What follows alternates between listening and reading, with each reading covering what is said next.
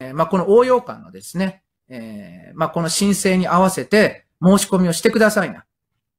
で、合格者にだけですね、連絡をいたします。合格者には連絡をいたします。で、それ以外の方ですね、まあ、40代、50代、60代、70代の皆さんは応援に回ってほしいということで、えー、まあ、支援をね、お願いしております。まあ、もちろんこれはですね、応援する会でも結構ですけれども、あの、応援する会ではですね、出せない費用もあるんですね。まあ、ちょっといろいろ調べてもらって、まあ、例えばね、食費とかですね、あと交通費もそうなんですけれども、そういうのがですね、どうしても政治資金からは出せないっていうことだったので、まあ、それならですね、桜井へのですね、個人的な支援っていう形で出してもらって、で、それを代わりに使うっていうことですね。で、支援先についてはですね、ドロンパの一人ごとに書いております。ドロンパの一人ごとに、え支援先で楽天銀行ビート支店210、え口座番号が1957341ですね。口座番号が1957341ということで、え個人口座を書いておりますので、こちらの方にですね、送っていただければ桜井に直接ですね、支援が届きますので、